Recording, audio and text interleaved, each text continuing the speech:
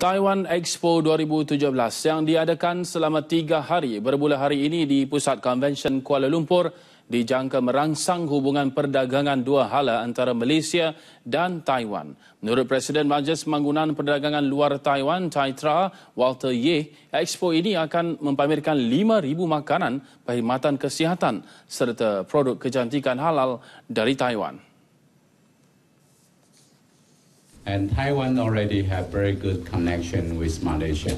We have so many uh, tourists coming to Taiwan. So we this time we also want to share with you that Taiwan is improving our Muslim-friendly environments for tourists. So we have more hotels, restaurants with halal uh, certification.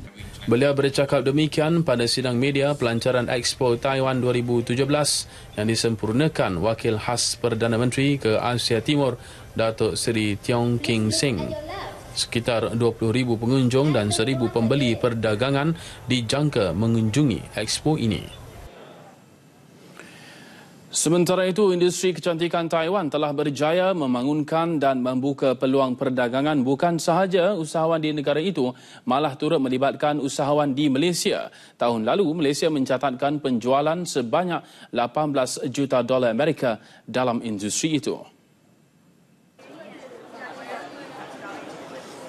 Pengurus Besar Taiwan Beauty Alliance Terry Chen menegaskan industri kecantikan Taiwan berkembang disebabkan beberapa faktor.